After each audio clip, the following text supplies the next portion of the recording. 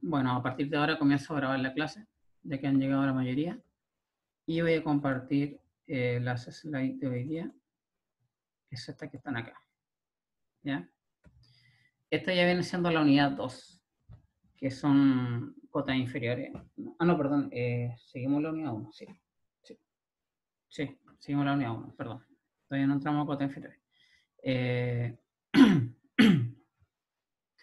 vamos a entender esto. Ok. Eh.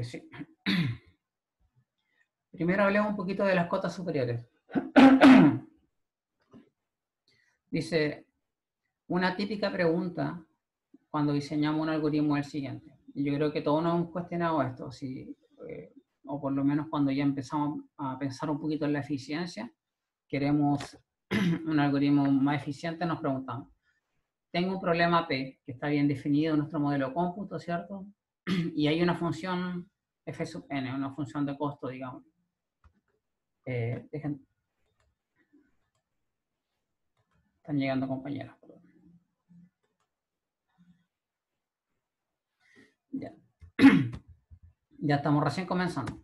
Decía que eh, el título de hoy día son las cuotas, cuotas inferiores. Especialmente vamos a ver cuotas inferiores a problemas.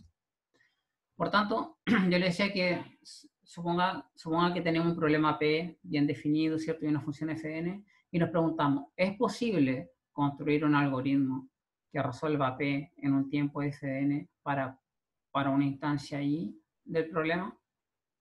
¿Será posible llegar a ese tiempo? Eh, ¿Vale la pena que nos esforcemos en tratar de, de encontrar un algoritmo que, que, llegue a ese tiempo FDN? ¿Ya?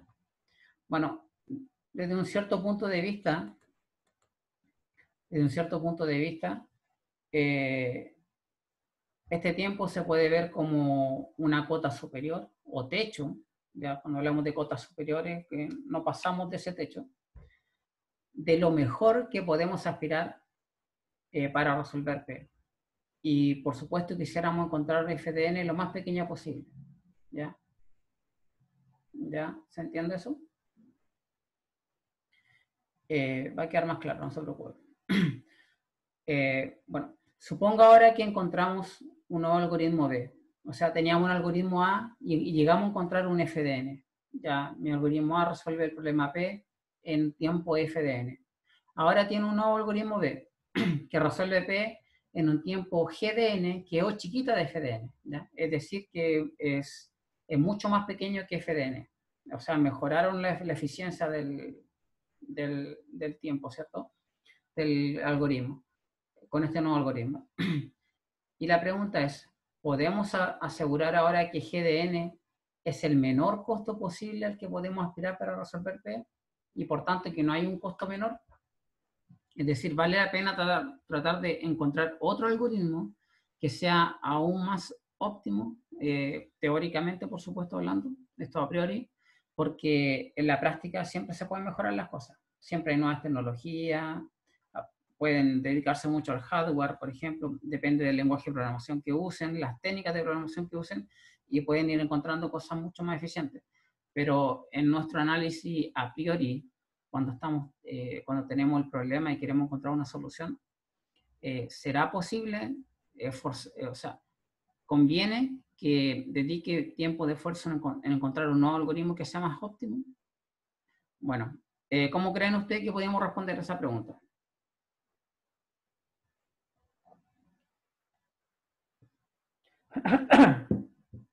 Alguien que me dé una bueno. opinión, por favor.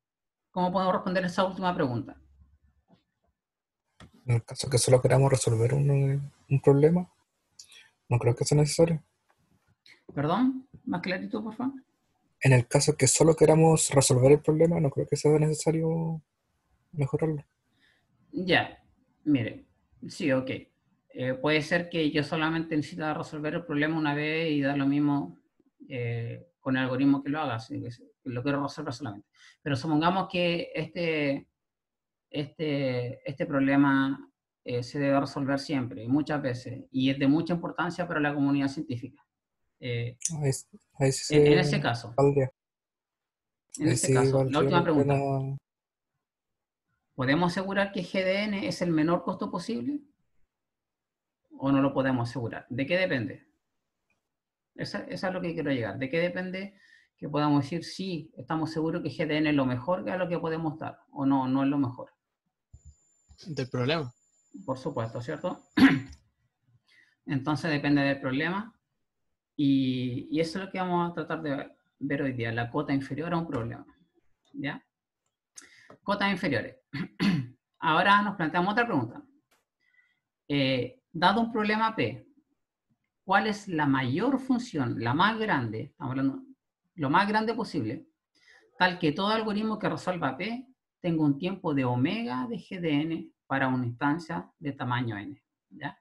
Estamos, lo que quiere decir esto es cuál es la función GDN que sea lo más grande posible, tal que todo algoritmo que solucione el problema tenga como cota inferior a esa función.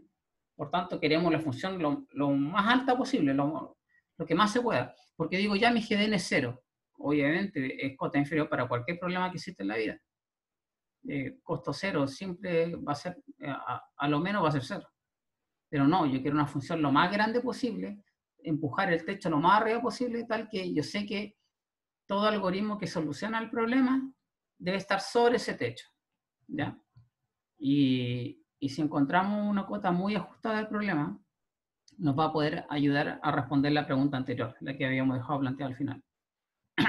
Porque vamos a poder asegurar que GDN es el mejor, eh, es el menor costo posible al que podemos aspirar, siempre y cuando estemos muy cerquita de ese techo, de ese techo más alto que encontramos acá, ¿ok? Para el problema, ¿ya? Eh, bien. Ahora, este tiempo se puede ver como una cota inferior o piso, ¿cierto? Para P deseamos encontrar GDN lo más grande posible. Lo que Ojalá GDN sea muy grande, eh, lo que más se pueda aspirar, para que así eh, tengamos la seguridad de poder decir que un problema es óptimo o está lejos de ser óptimo de un compañero no me he dado cuenta. Bien. ok, las cotas inferiores nos ayudan a entender cuán difícil es un problema de resolver, ¿ya? Y evaluar cuán bueno es un algoritmo para resolver el problema, ¿ya? Por ejemplo, eh, el típico ejemplo es con los problemas NP completos o NP-hard, ¿cierto? que son muy difíciles de resolver, eh, con un, tienen un enunciado, un, perdón, un enunciado muy sencillo. Por ejemplo, el, el TSP, ¿conocen el problema de TSP? No. Ya. TSP se llama Traveling Salesman Problem. Problema del, del vendedor viajero.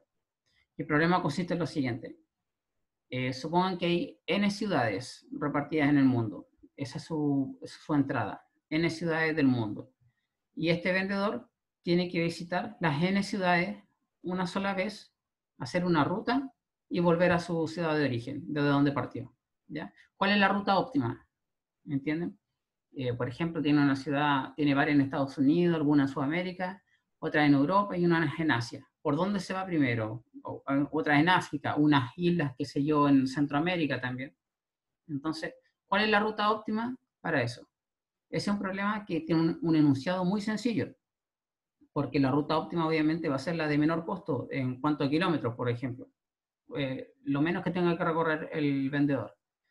Entonces, eh, el enunciado es sencillo, pero hasta el día de hoy no se ha encontrado ningún algoritmo en tiempo polinomial, que no es tan eficiente ni siquiera, pero ningún algoritmo en tiempo polinomial que resuelva ese problema. ¿Ya?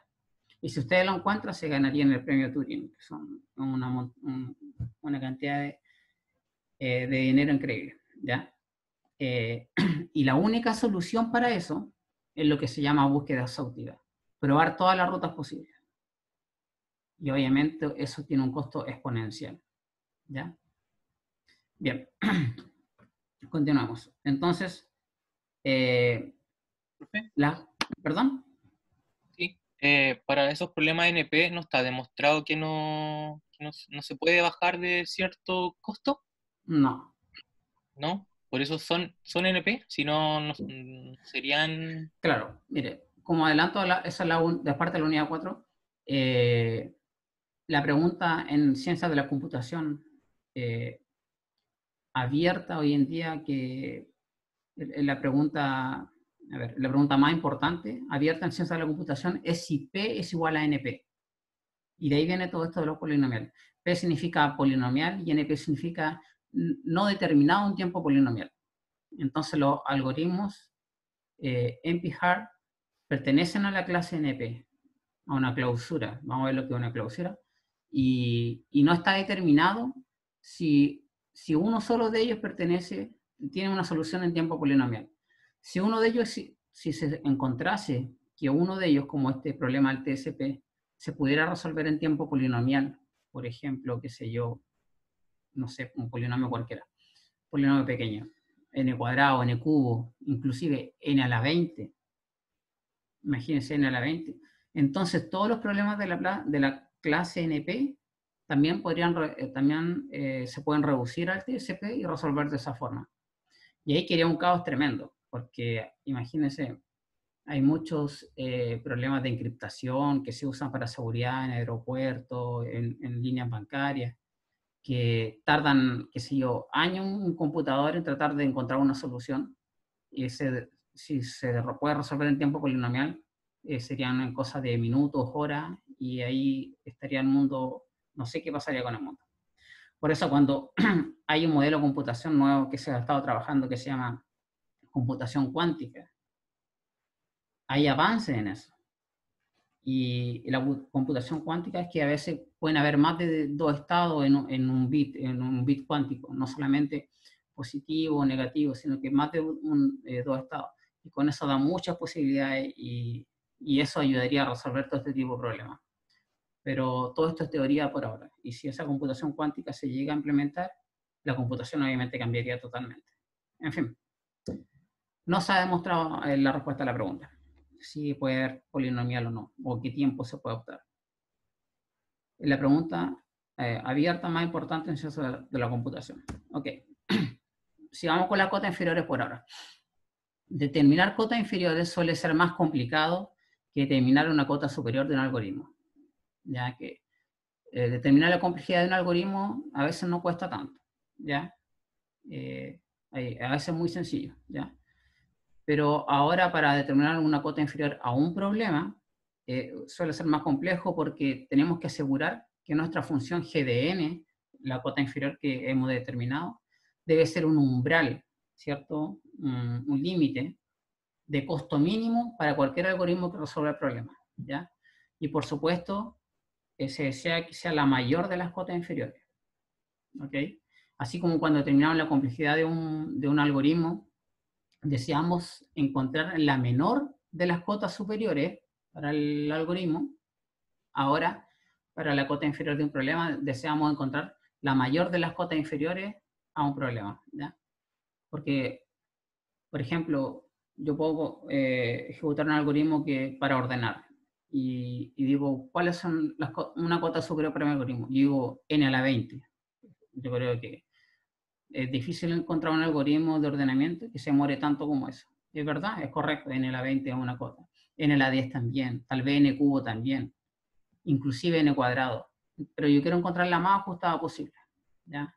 Por ejemplo, insertion sobre la cota superior, el algoritmo que vimos en la clase anteriores, tenía una cota de n cuadrado, en el peor caso. ¿ya? Ok. Vamos a, a estudiar una técnica. Yo creo que esta es la técnica más usada, ya la técnica del, del peor adversario. ¿Ya? Aquí simulamos que nosotros tenemos el algoritmo más inteligente, el más eficiente, lo más óptimo que hay, el, mejor algoritmo que pueda haber, ¿ya? Un algoritmo estrella. Y este algoritmo se enfrenta, por decirlo de un modo, a un terrible adversario, ¿ya? A nuestro peor adversario que podíamos imaginar. Tal que ese peor adversario siempre ordena los datos de tal manera tal que nuestro algoritmo haga el, el- el, eh, caiga siempre en el peor caso, haga el mayor trabajo posible. ¿Ya? Eh, ¿Recuerdan el problema del encontrar el mínimo? Nosotros dijimos que la cota para el problema era n-1. Porque, perdón, porque supusimos que si había un algoritmo que era mejor que eso y se demoraba n-2, eh, nosotros por contradicción dijimos, bueno, si, si se demora n-2, eh, quiere decir que al menos dejó una, un elemento del arreglo sin comparar. Y entonces nuestro peor adversario puso justo el mínimo en esa, en esa posición. ¿ya? Entonces eso es lo que hace un peor adversario. Busca si tiene alguna debilidad su algoritmo y ordena la data eh, para que se caiga, para que no funcione, para que su algoritmo sea correcto.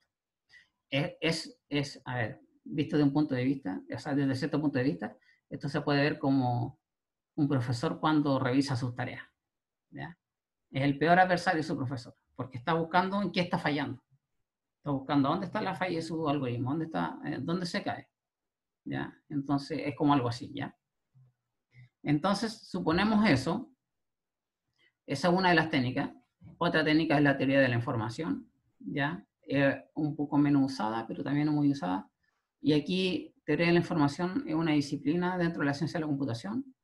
Y, la teoría de información eh, tiene que ver con cotas inferiores también, pero no para, no para ordenamiento, no para algoritmos, sino que una cota inferior en cuanto al número de bits, al, espacio, a, los números, a la cantidad de bits que son necesarios para representar eh, un mensaje, una, un archivo de texto, por ejemplo.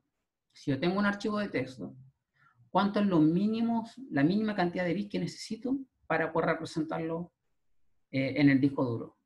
Eh, por ejemplo, a eso optan los algoritmos de compresión.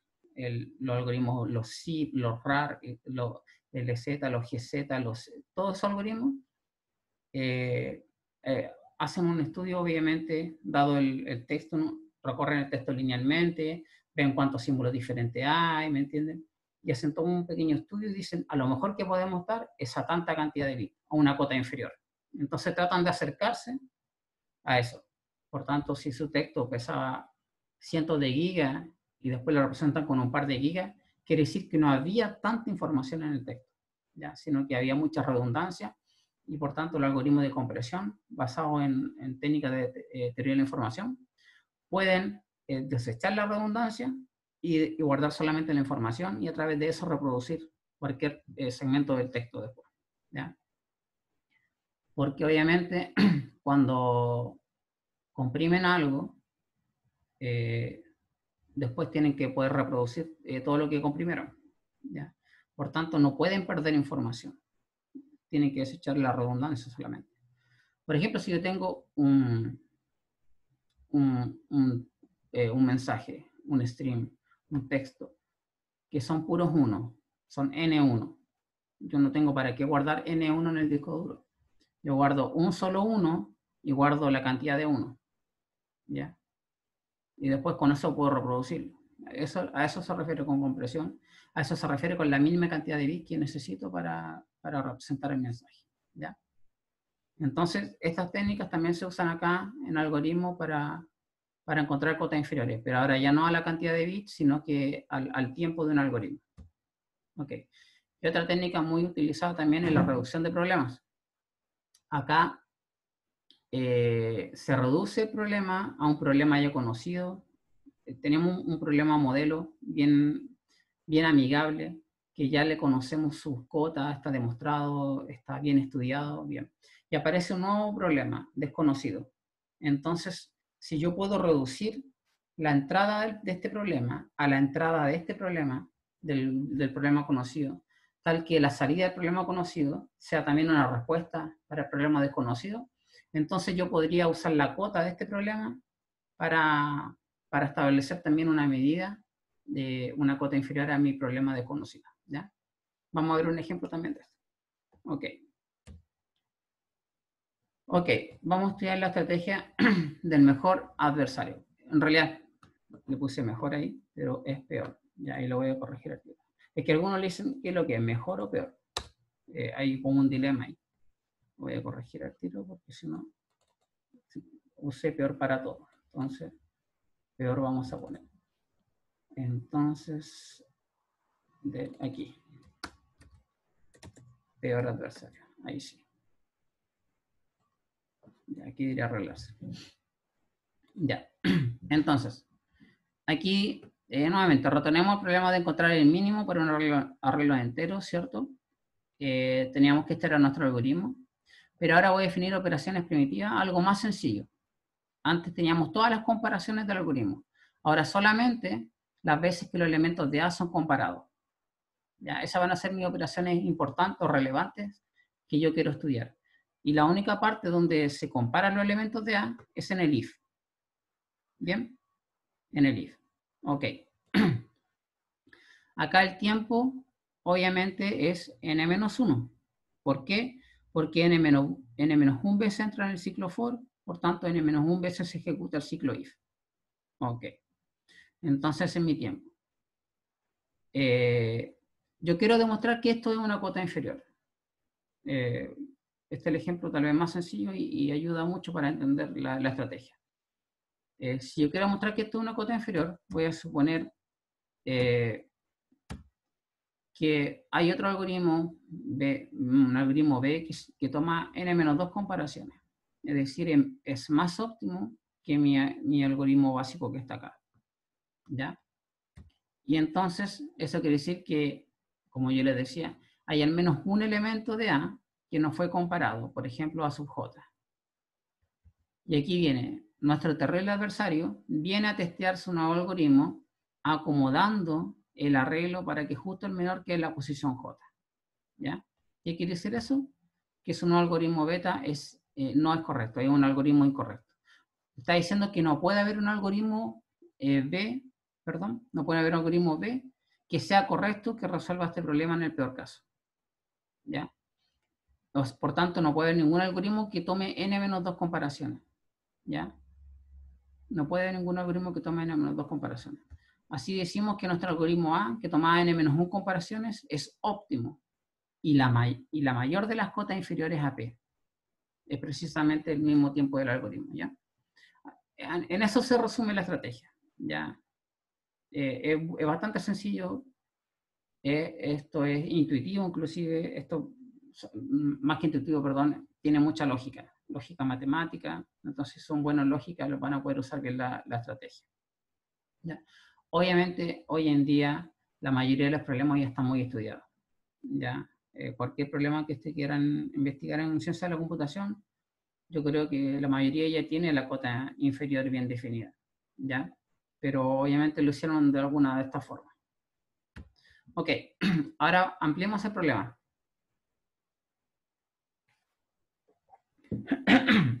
Suponga que deseamos encontrar el mínimo y el máximo. Ese es nuestro problema. No, no uno solo, sino que ambos. Encontrar el mínimo y el máximo en un arreglo X, por ejemplo. Las operaciones primitivas nuevamente son las veces que los elementos de X son comparados. ¿Ok? Tenemos ese problema. Si yo les pregunto a ustedes, ¿qué estrategia usaría para resolver este problema? ¿Qué podrían responderme ustedes en cuanto a lo que ya sabemos? ¿Qué, ¿qué usarían ustedes? ¿Cómo podríamos encontrar mínimo y máximo de una forma, obviamente, lo más eficiente posible? Lo mismo que el anterior, pero agregando otro if para comparar los elementos con el máximo. Ya. Se agrega otro if, entonces va a tener eh, dos if dentro del for, por tanto va a tener 2 por n menos 1, 2n menos 2 comparaciones. Eso. ¿Ya? ¿Será óptimo eso? ¿Será bueno? Tenemos una solución, un algoritmo que incluye dos if, por tanto toma 2n menos 2 comparaciones. ¿Qué dicen los demás chicos? ¿Será bueno eso? ¿Será lo mejor?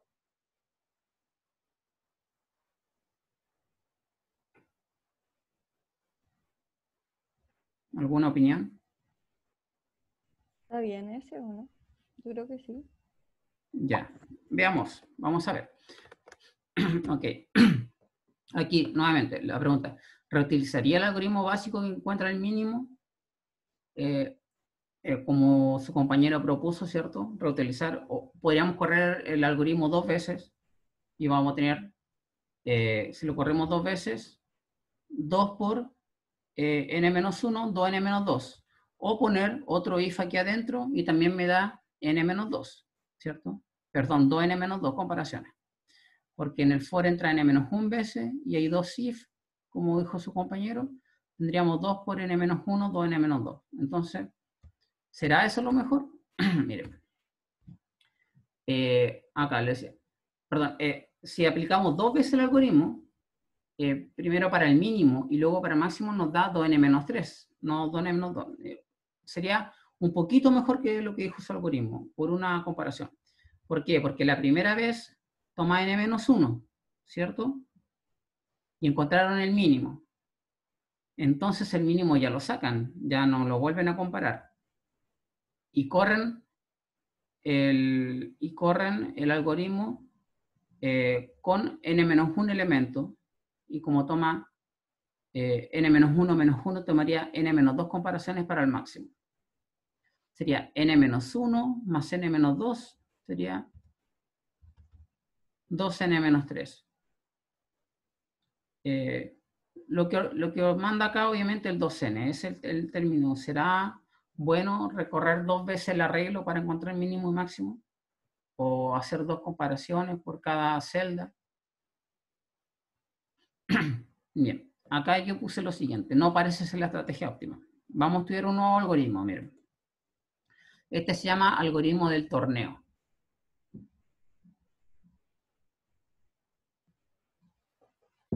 Acá la idea es simular la eliminación directa que ocurre en un torneo tipo torneo de tenis, ¿ya? No sé, ustedes conocen un torneo que se llama Roland Garros, por ejemplo. Tiene 128 participantes.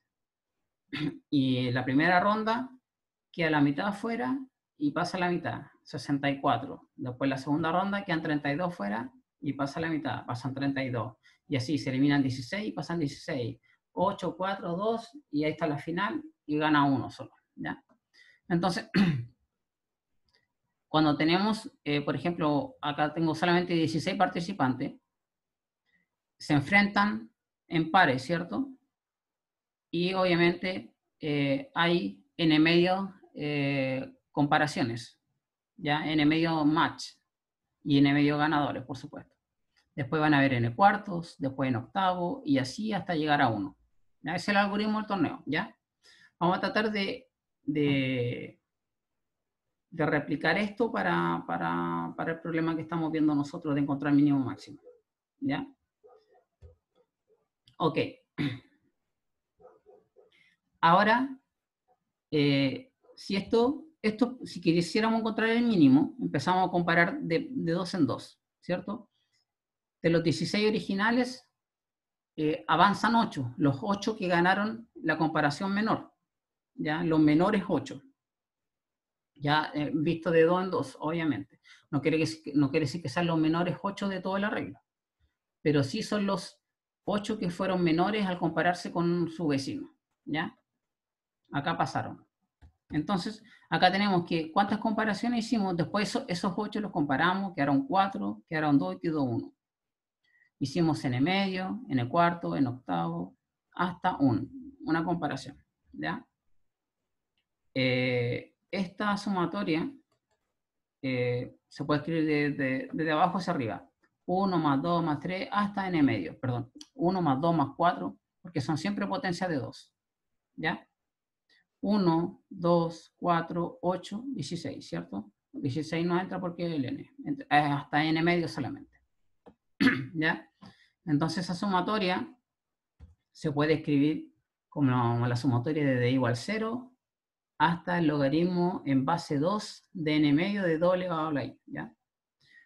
Esto es lo que decía la clase pasada, y que si, si dice LGN solamente, no dice log, sino LG, es porque es logaritmo en base 2. Esto es un estándar también, ya lo vamos a usar nosotros igual. Ya. ¿Están de acuerdo con la forma que está escrita la sumatoria? ¿Están de acuerdo o hay alguien que no está de acuerdo con eso? ¿Sí? Ya. De acuerdo. ¿Ya se entiende todo? ¿Lo entendemos? Noten que cuando i vale 0, 2 elevado a 0 es 1. Ahí está el 1. Cuando i vale 1, 2 elevado a 1 es 2. Ahí está el 2. Cuando i vale 2, 2 al cuadrado es 4. Y así. Y cuando i vale logaritmo de n medio, me queda 2 elevado al logaritmo de n medio. Y recuerde que 2 elevado al logaritmo en base 2 de a me da a solamente. ¿ya? Es una propiedad de los logaritmos, que ahí tienen que repasar algunas propiedades y que algunos se lo olvidado. ¿ya? Entonces 2 elevado al logaritmo en base 2 de n medio es n medio, que es lo que está ahí. Perfecto. Entonces tenemos esa sumatoria. Ahora, ¿cuánto vale esa suma? Vamos a recordar lo que era una suma geométrica. Recuerden que la suma de los primeros k términos desde, a partir del 0, desde el 0 hasta el k menos 1, de la sumatoria de a elevado a i, ¿cierto? Es 1 menos a elevado a la k partido por 1 menos a. O al revés si lo prefieren. a elevado a la k menos 1 dividido por a menos 1. ¿ya? Da lo mismo. ¿Ya? Entonces, eh, vamos a aplicar esta suma a, esta suma que tenemos acá. ¿Ya? Esto de aquí, le voy a aplicar esta suma. ¿Ya? Entonces, ¿qué me va a quedar? Me va a quedar lo siguiente. Primero la voy a acomodar, porque acá tiene que llegar hasta acá menos 1. Y aquí no estamos eh, desde 0 a acá menos 1. Por tanto, tengo que transformarla así. Desde eh, igual 0 hasta log de n medio menos 1. ¿Ya? De los dos elevado a la i. Pero como hice eso, le resté un término acá, estoy llegando hasta log n menos 1, tengo que sumarle ese término acá. ¿Ya? Para que no se me altere el resultado. ¿Ya? Entonces yo acomodé la sumatoria para poder aplicar la suma geométrica. ¿De acuerdo? Se ve mejor ahí por eso. Entonces, esto que está aquí, se aplicando la fórmula, me da eh, a elevado a la k menos 1 aquí arriba, a elevado a la k menos 1, que es 2 elevado a eso que está ahí, ¿cierto? Menos 1 dividido por a menos 1, dividido por 2 menos 1, ¿ya? Más esto que está acá, 2 elevado al logaritmo de n medio, que me da n medios, que como dijimos delante. ¿Ok? Entonces, eh, 2 menos 1 me da 1, el, la fracción se elimina, obviamente, y me queda 2 elevado a la log de n medio menos 1 más n medios, ¿cierto? Y eso, me, eso, eso que está acá es n medio también, n medio menos 1 más n medio, y me da n menos 1. ¿De acuerdo? Acá, esto es lo que yo le decía antes. Recuerden que b elevado al logaritmo en base b de a es a, ¿ya? Por tanto, 2 elevado al lg de n medio es n medio, ¿ya? Porque es el logaritmo en base 2. Lo que aplicamos para esto. Y para esto que está acá, ¿ya? Por tanto, miren lo que me da. N menos 1. Esto es solamente para encontrar el mínimo. n menos 1. ¿Es bueno? Claro que es bueno porque dijimos acá que, eh, ¿dónde está? Acá, que la cota era n-1, ¿cierto? Para encontrar el mínimo. Ya sea el algoritmo así, o sea, ahora este nuevo algoritmo del torneo también es óptimo, ¿ya? También es óptimo. Se demora n-1. Ok, pero aún no está solucionado el problema porque queremos encontrar mínimo y máximo. Pero supongan ahora, eh, bueno, primero, eh, como les decía yo, nos tomó n-1 comparación a encontrar el mínimo, lo cual es óptimo. ¿Ya? Ahora la clave, miren, va a ser encontrar el máximo solo con los primeros n medio perdedores del torneo. Mire, esto es lo que es clave aquí en este algoritmo. Ya no vamos a recorrer todo el arreglo, sino que solamente los que perdieron en la primera ronda. Ya, acá. Aquí, como ustedes pueden ver, en esta figura que está acá, eh, los que perdieron quedaron acá arriba. Hay ocho que perdieron. los ocho que pasaron eran menores. Acá están los ocho mayores. Por tanto, si yo guardo esos ocho mayores, eh, cuando voy comparando, los separo, hago como una partición, los menores van acá y los mayores allá. ¿Ya? O dejo, por ejemplo, el menor a la izquierda y el mayor a la derecha, cuando voy de dos, de dos en dos en el arreglo, por ejemplo. Entonces, supongamos que divido en dos arreglos. de tamaño eh, n medio cada uno. Los n medio mínimos y los n medio máximos. Entonces, ahora sí puedo aplicar nuevamente este mismo algoritmo o el algoritmo anterior para encontrar el mínimo. ¿Y cuántas comparaciones me va a tomar el máximo? ¿Se entiende, ¿se entiende lo que estoy diciendo?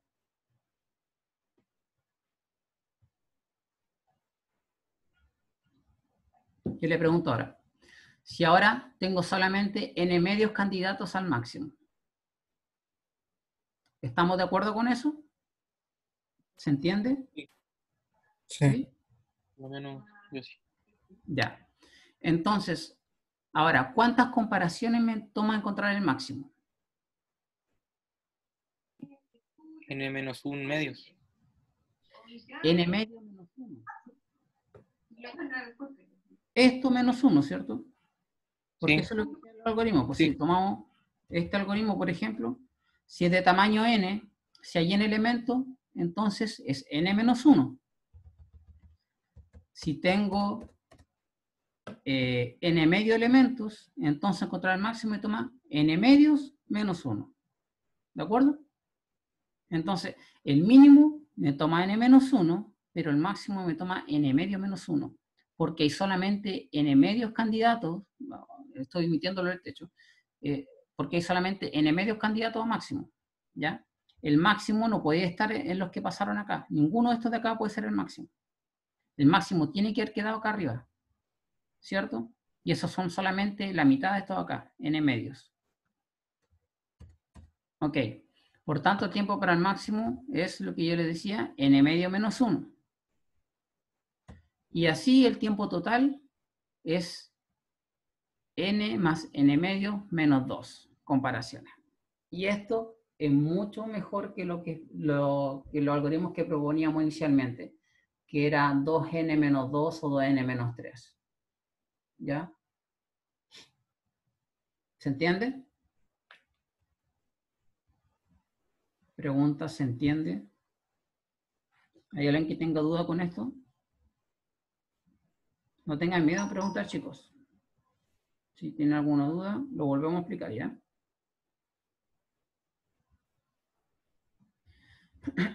Bueno, entonces supongo que están entendiendo, a pesar de que no dicen ni sí ni no.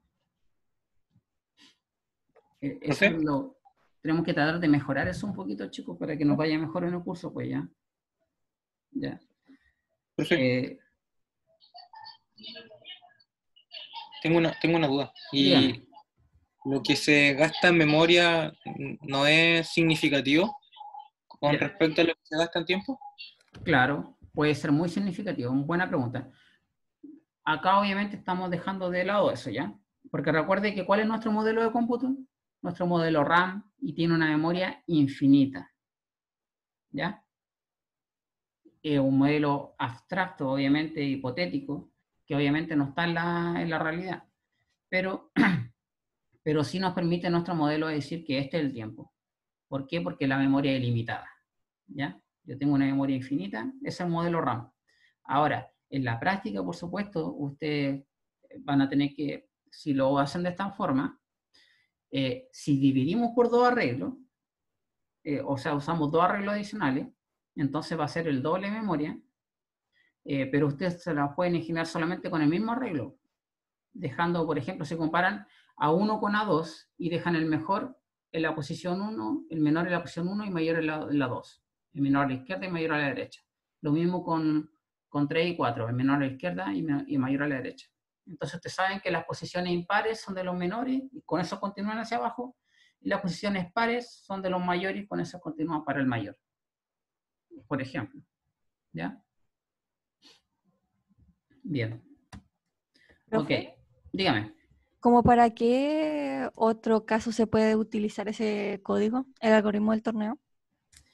Eh, ahí eh, el algoritmo de torneo son, esto es para cuando eh, se basa en modelos de, en comparaciones, pri- principalmente. Todo lo que tenga que ver con comparaciones eh, es útil el algoritmo del torneo, ¿ya? Eh, no solamente Mm. ordenar, no solamente encontrar mínimo, máximo, hay otros, encontrar la mediana, otro tipo de cosas. Y hay muchos problemas en la industria que se basan en comparaciones. Por tanto, ustedes se pueden acordar de este algoritmo y modelar ahí algo, ¿ya? Entonces, eh, en realidad el algoritmo torneos eh, está basado, obviamente, en, la teoría de la información. Pues, ¿ya? El torneo de tenis se hizo pensando en esto. O sea, alguien lo tomó de aquí y lo llevó para allá. Pues no es que nosotros estemos copiándole a los tenistas cómo resolver los problemas. ¿ya? Ok. Sí, pero son basados en comparaciones, eh, en eliminación directa, en enfrentamientos directos entre dos contrincantes, ¿ya? Acá comparaciones, puede ser, eh, no sé, otro tipo de cosas. Pero que haya, siempre que haya eh, un enfrentamiento entre dos candidatos. Ok. ahora, Vamos a calcular la cota inferior. Lo hicimos para el mínimo, o se puede ver para el máximo también. Lo hicimos para mínimo y máximo a la vez. Y, veamos cuál es la cota inferior realmente para mínimo y máximo, ¿ya? Porque acá dijimos que toma eso, pero ¿será realmente la cota inferior? ¿O la, o la mejor de las cotas inferiores? Ya. Miren, suponga lo siguiente. Suponga que podemos particionar los n números de la entrada del arreglo, ¿cierto? Que queremos comparar. Eh, en, cuatro grupos. El grupo A tiene todos los números o los elementos que aún no han sido comparados. Es decir, al inicio ninguno ha sido comparado porque todavía no hay enfrentamiento. Entonces A es igual al, al arreglo de entrada. ¿ya? Al tal conjunto B con los números que siempre han ganado sus comparaciones. Es decir, que nunca han perdido que han sido comparados y siempre han ganado, pero, pero que han sido comparados. ¿ya? En C, lo contrario, son los números que han sido comparados y siempre han perdido sus comparaciones. Ese perdido quiere decir eh, menor, ¿ya? O bueno, depende desde el punto de vista. Pero uno gana y otro pierde, ¿cierto? Eso es B y C. En B los que ganan y en C los que pierden. Y en D, el conjunto con los números que han ganado y también han perdido a la vez, ¿ya? eh, D podría ser un, elemento que está acá y que haya quedado en el camino. Por ejemplo, X5, suponen que llegó acá, pero después perdió con X2 que estaba acá. Entonces X5 le ganó a X6, pero perdió con X2. Por tanto, X5 va a quedar en D, conjunto con los números que han ganado y que también han perdido sus comparaciones, al menos una vez. ¿ya? Por tanto, la cardinalidad de estos conjuntos es precisamente N. ¿ya?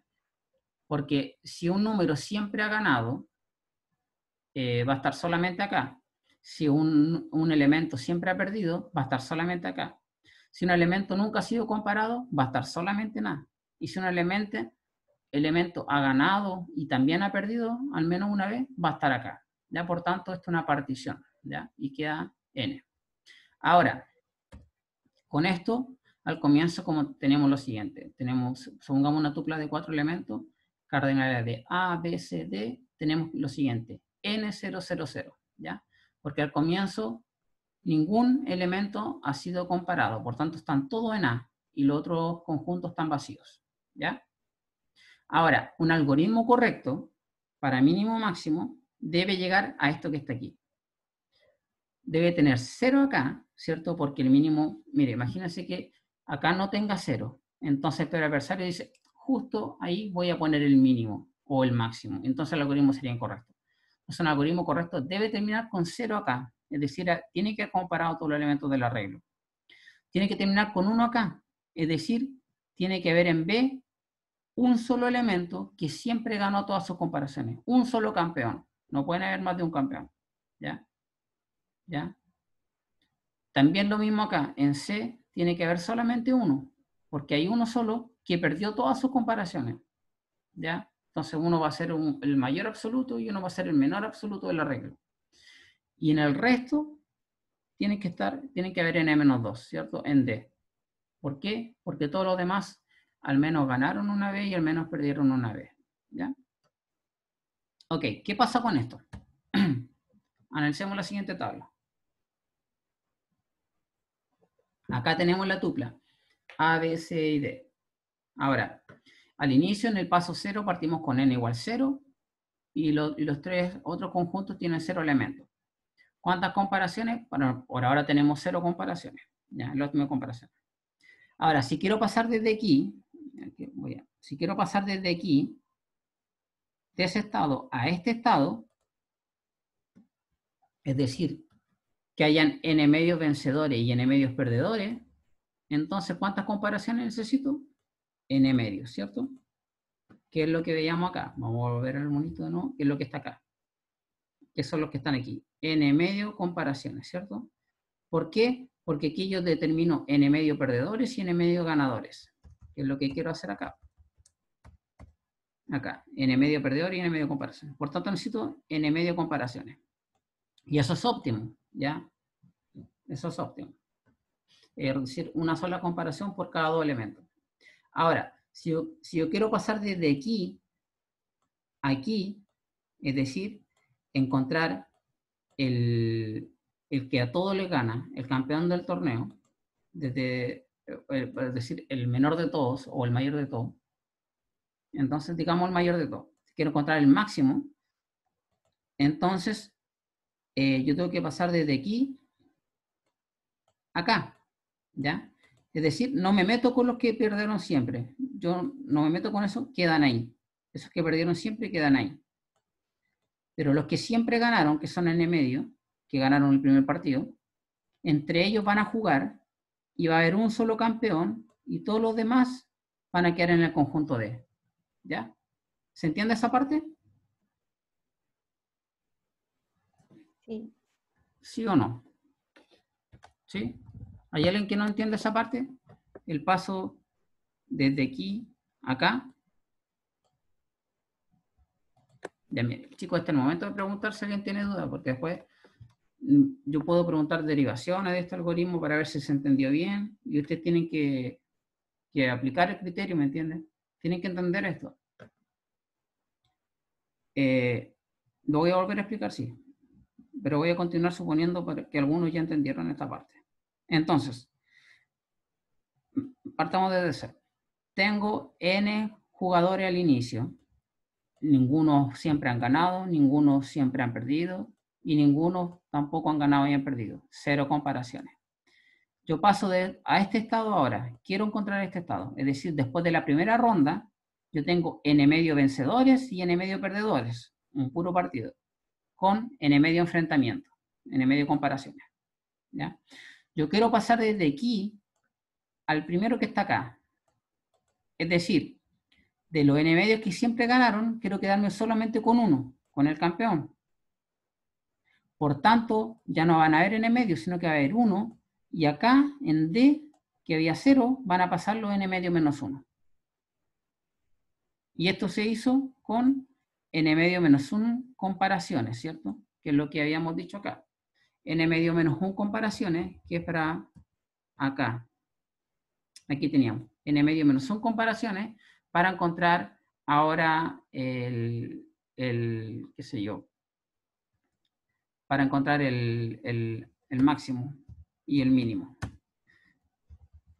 Volvemos.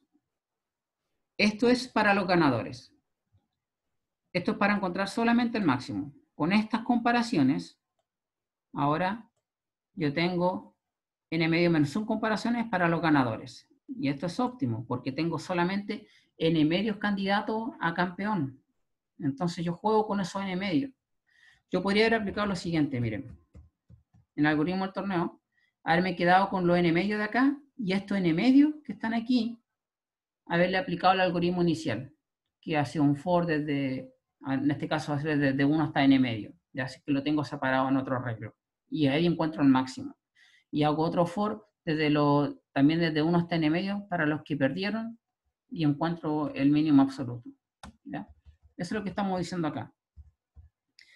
Que de lo, con estos n medios que era bien ganado, yo con un for, ¿cierto? Con n medios menos 1 comparaciones encuentro el mayor de todos.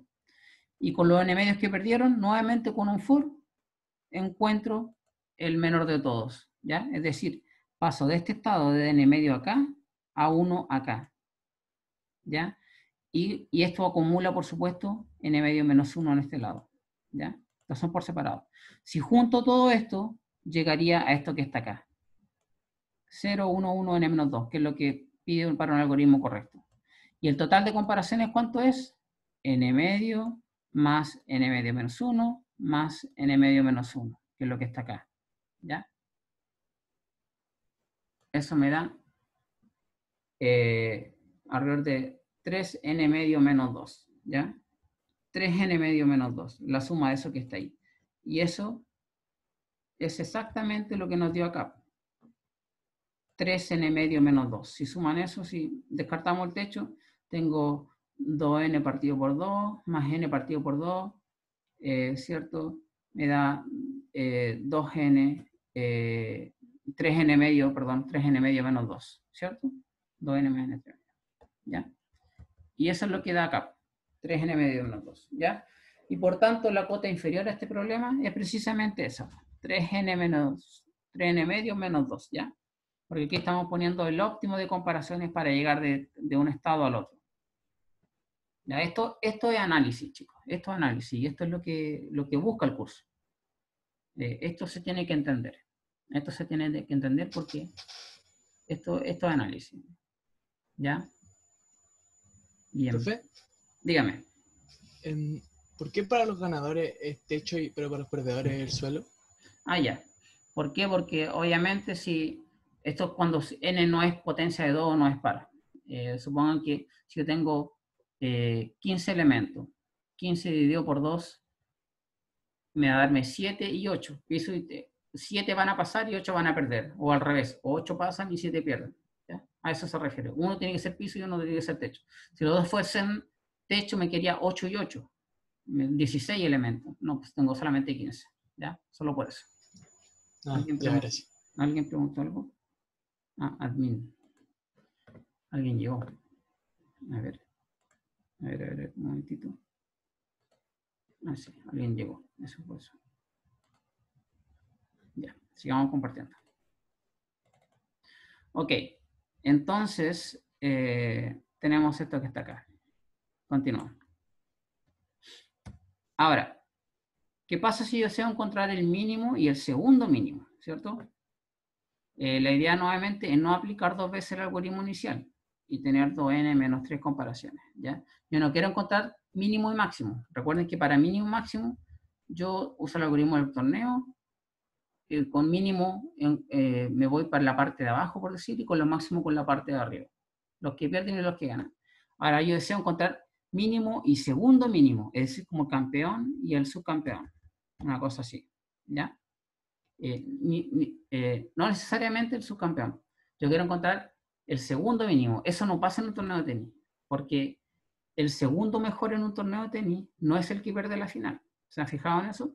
Porque pueden encontrarse los dos mejores justo en primera ronda. Y la mala suerte. Estaban justo los dos mejores del torneo ahí y se enfrentan en la primera ronda y uno pierde inmediatamente y el otro sigue avanzando. No quiere decir que el que llegó a la final sea el, segundo mejor jugador. El, segundo que llegó más lejos, sí, pero no necesariamente el segundo mejor.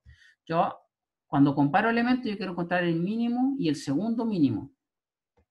¿Ya? Entonces, miren este, el mismo algoritmo del torneo que está acá. Supongan que el ganador es X10, puede ser cualquiera. Yo puse X10. Entonces X10 le ganó a X9, luego le ganó acá a uno de estos dos que pasó, luego le ganó acá a uno de estos, dos que, a, uno, a uno de estos cuatro que llegó acá, eh, y luego le ganó a este, a uno de estos ocho que ganó acá, y finalmente gana. ¿ya? Este es el ganador del torneo, es el mínimo absoluto. Ahora, ¿dónde creen ustedes que debería estar el segundo mínimo del arreglo? ¿En qué parte? Para este ejemplo. Eh, la pregunta, ¿el segundo mínimo pudo haberse no enfrentado a X10? Esa es la pregunta. ¿Pudo haberse no haberse enfrentado a X10? Si yo tengo que el mínimo, supongamos que X10 valía 0. Y el que le sigue es el 1, el segundo mínimo. Y hay un solo 1. ¿Es posible que el 1 haya sido uno de estos círculos que en blanco que están acá? y no eh, uno de los que están en rojo, que son los que se enfrentaron con X10? Tuvo que haberse enfrentado en algún momento. ¿Perdón? tuvo que haberse enfrentado en algún momento con X10. Claro, Sí por supuesto, ¿cierto? Porque si tiene que haber perdido con el campeón, no hay ninguna otra posibilidad.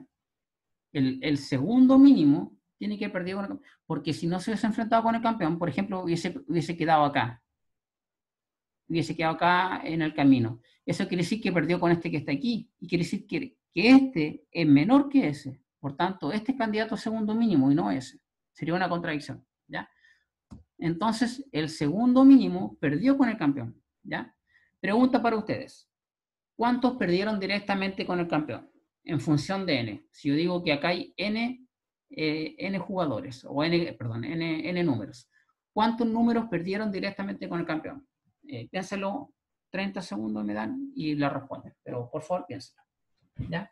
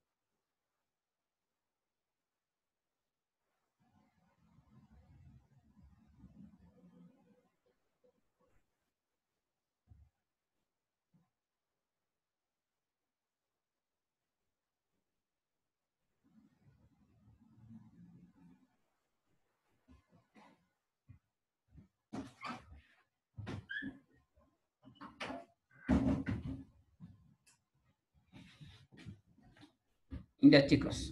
¿Alguna respuesta? ¿Cuánto perdieron directamente con el campeón? ¿Cuántos son? Sería logaritmo en base 2 de, de n. Muy bien. Muy bien, ¿cierto? ¿Por qué? Porque obviamente son- van comparando de a 2 en 2 y por tanto eh, son logaritmos en base 2 de n. Eh, ¿A todos les queda claro eso, cierto? ¿O no? ¿A alguien no le queda claro? Para este ejemplo con 16 elementos, logaritmo en base de 16 es 4. Tenemos 1, 2, 3 y 4. Precisamente 4 son los que perdieron. Por tanto, ¿cuántos candidatos hay a segundo mínimo? Solamente logaritmo en base 2 de n rivales, ¿cierto? No hay más que eso. Por tanto, yo no debería volver a recorrer todo el arreglo, ni siquiera volver a recorrer la mitad de ellos, sino que solamente recorrer aquellos, ¿ya? Porque yo sé que la única posibilidad es que el segundo menor haya sido comparado con el mínimo absoluto, con el campeón del torneo y haya perdido. Por tanto, basta aplicar el algoritmo del mínimo ahora, solo con estos log n perdedores, ya que si, ya que si olvidamos alguno de estos, como yo les decía, mi peor adversario puede, puede decirme, oye, eh, te olvidaste de uno y está por acá, es imposible, es una contradicción, tu tu algoritmo es incorrecto. Por tanto, como el segundo menor es uno de estos rojos, yo comparo solamente esos.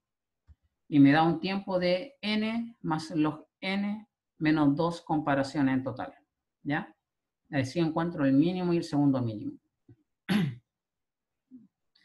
Bien.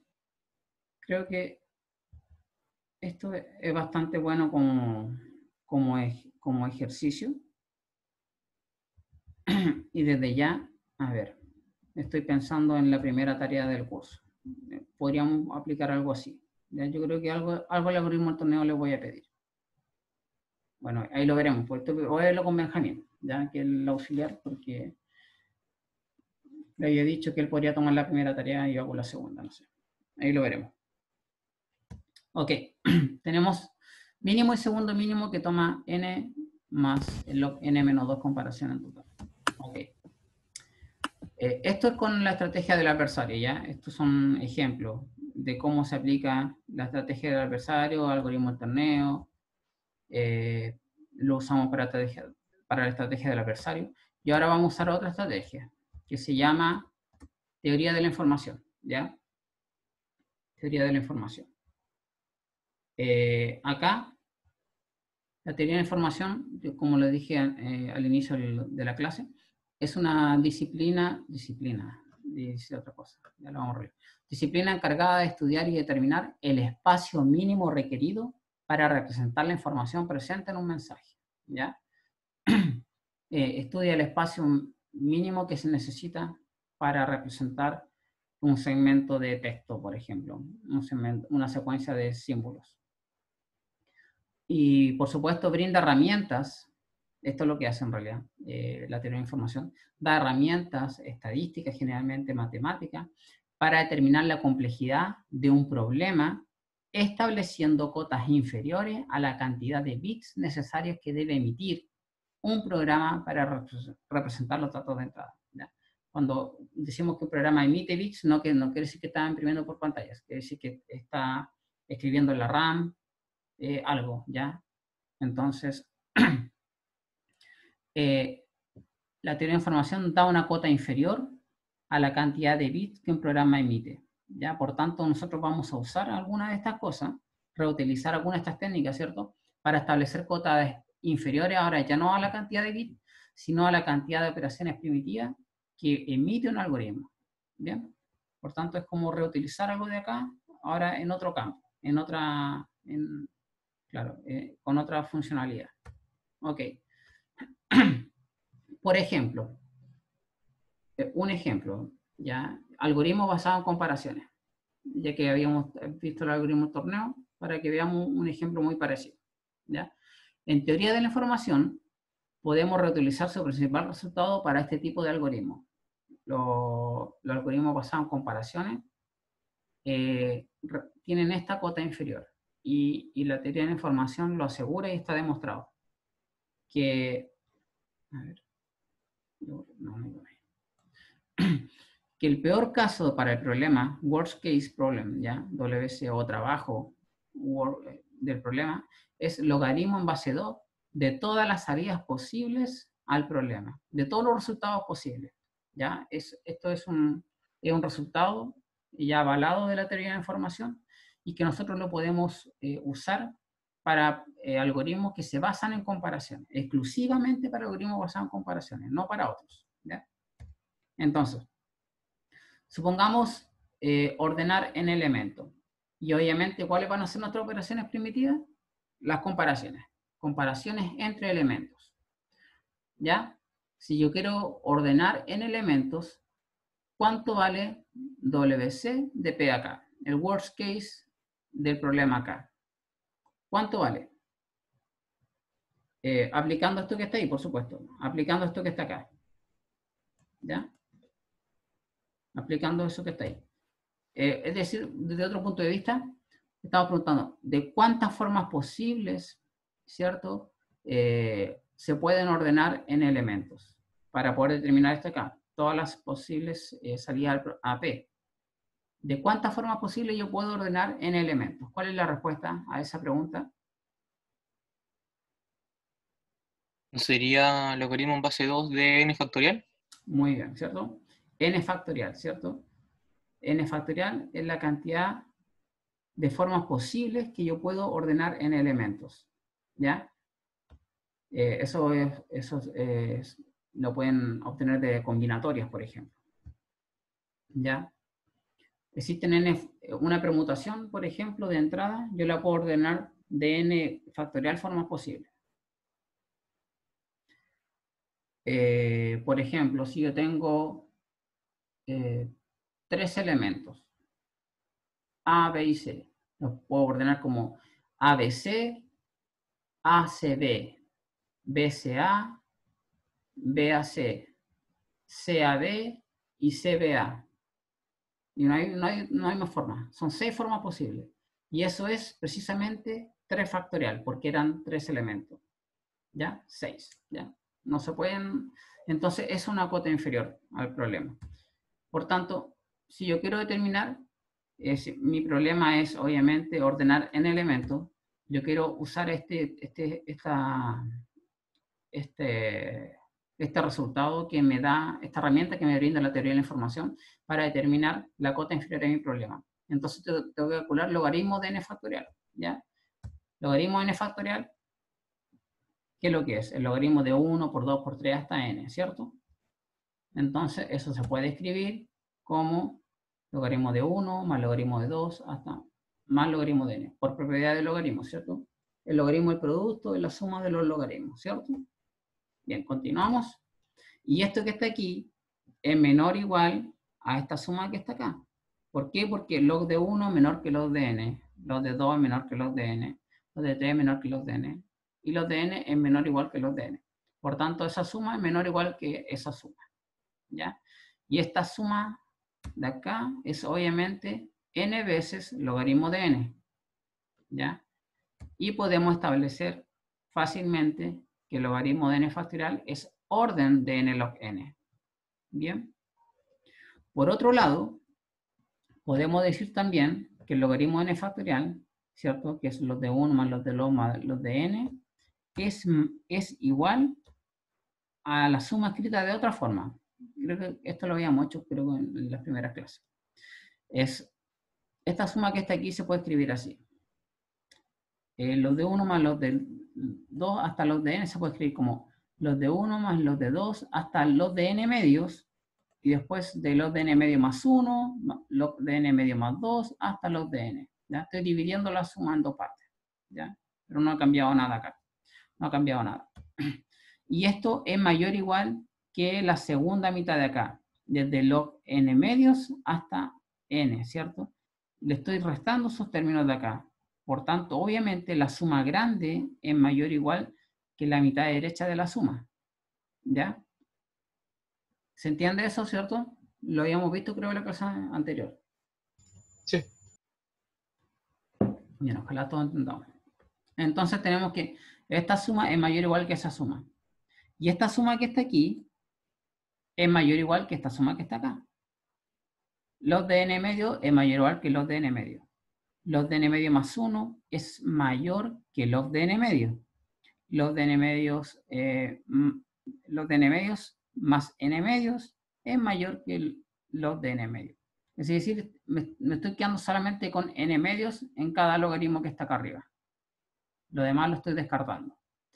Profe, ¿el último se compara con el anterior? ¿Con el que, digamos, tiene más uno, más n medio, más dos? Claro. Ah, ya. Este con este, ese con ese, este con ese. ¿Cierto? Porque este era los de n, que se escribe n medio más n medio. Por tanto, yo me quedo solamente con la mitad y yo sé que los de n medio es mayor, perdón, los de n es mayor que los de n medio. Por tanto, esa suma yo puedo asegurar que es mayor o igual que esta suma que está acá.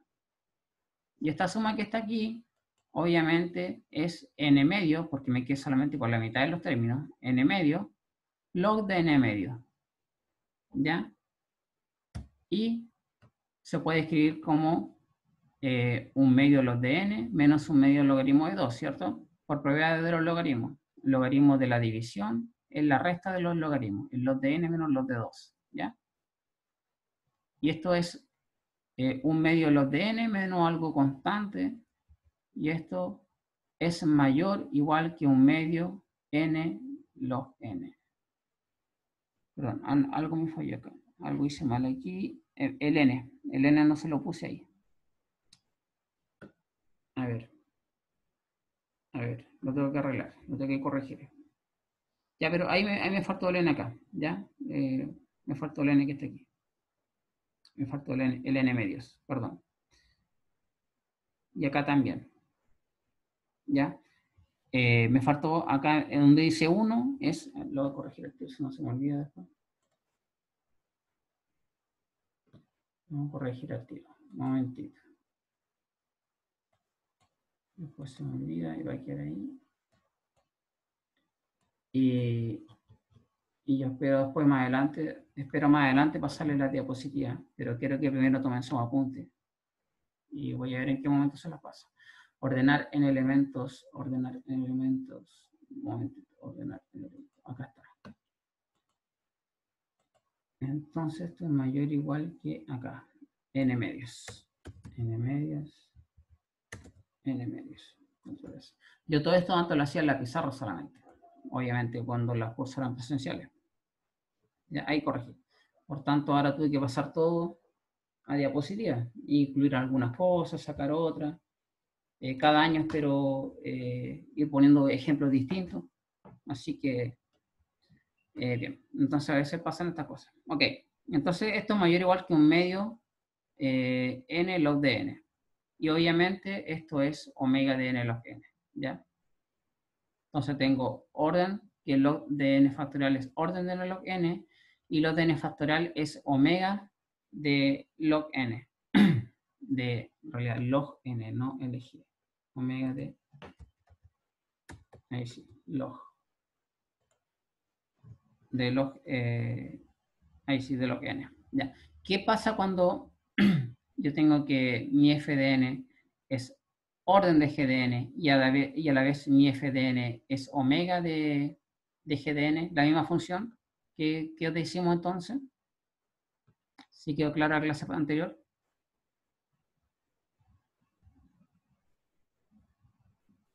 Si yo tengo que FDN es orden de G y a la vez omega de G, entonces, ¿qué podemos decir con respecto a FDN? Que siempre toma G. Ya, pero decimos que es tita, tita de GDN. en ese caso, eso lo vimos en la clase pasada, una propiedad. Si es orden y es omega, entonces tita, ¿ya? Eso quiere decir, ¿ya? Que es acotado superiormente e inferiormente por la misma función. Eso es tita de GDN, ¿ya? Eso. Entonces, eh, esto con ordenar y obtenemos obviamente nuestra cota todos saben que ordenar en elementos toma esta cantidad de comparaciones mínimas. ¿ya? Por eso todos los algoritmos óptimos toman n log, n log, n log n. Y esto se hace como, ¿cómo encontramos la cuota? Aplicando eh, técnicas de teoría de la información. Veamos un pequeño ejemplo. y con este terminamos. Supongamos que queremos ordenar tres elementos. ¿ya? Entonces, hagamos un pequeño árbol de decisión, árbol de decisión binario. Estos se llaman árboles de decisión. Tiene solamente dos respuestas, sí y no. A es menor que B, sí o no. Si es menor que B, entonces comparo. B es menor que C. Y si la respuesta es sí, yo tengo que A es menor que B y B es menor que C. Entonces tengo esa salida, ¿ya? Si no, yo solamente sé por ahora que A es menor que B y sé que C es mayor que B. Entonces tengo que comparar A con C. Y si A menor que C, entonces yo digo A menor que C menor que B. ¿Ya? Si me fuera por el otro lado, por ejemplo, yo tengo que B es menor que A. Entonces yo sé que en todas estas salidas de acá, B tiene que aparecer antes que la A. BA, BA y BA. Aparece antes, porque B es menor que A. ¿Ya? Acá tengo, si C menor que B, entonces tengo CBA. Ese es el orden. Si no es así, entonces quiere decir que B está antes que C. Entonces, por eso está B está antes que C y B está antes que C acá. Pero me falta establecer el orden entre A y C. ¿Ya? Entonces, si A es menor, entonces B a C, y si no es B C A. ¿Ya? Y noten que estas son 1, 2, 3, 4, 5, 6. Las únicas seis salidas posibles al problema cuando tengo tres elementos. ¿Ya? Y eso precisamente 3 factorial. ¿Ya? 3 factorial. 3 factorial.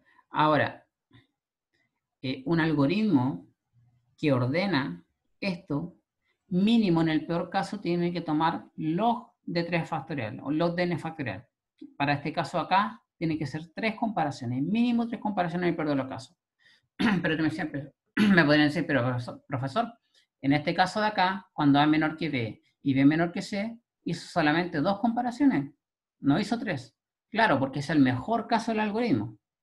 Pero en el peor de los casos va a tener que ir a la hoja más profunda, que son estas que están acá. Y son tres comparaciones. ¿ya? Porque recuerden que la cota inferior también es en el peor caso. Siempre estamos hablando del peor caso. ¿Ya? Y este es un ejemplo. ¿Se entiende este ejemplo? Sí, sí se entiende. Ya. Qué bien, chicos. ¿Alguna duda con esto? Bien. Bien. Eh, esto es lo que les tengo para hoy día.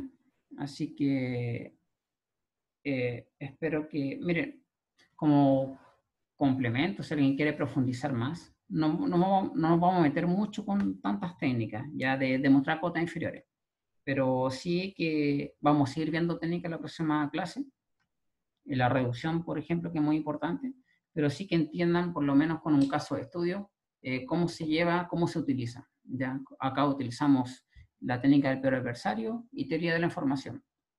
La próxima clase vamos a hacer un ejemplo para reducción de problemas. ¿ya?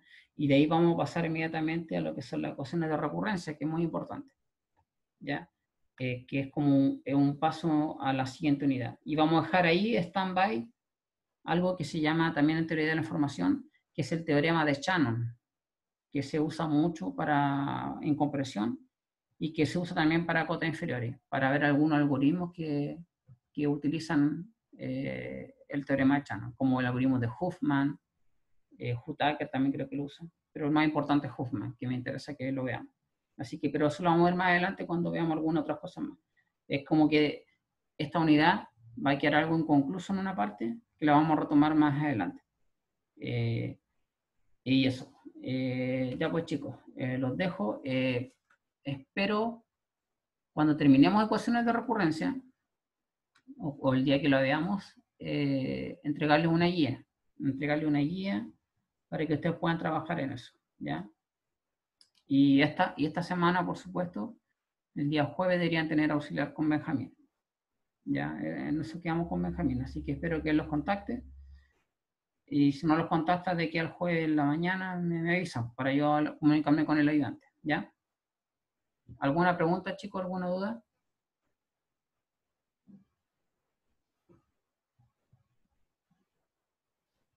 No. Al menos. Bien. Eh, nos vemos entonces el próximo jueves, si Dios quiere. Que, que les vaya bien esta semana. Chao a todos. Chao, profe. Chao, chicos. Chao, chau.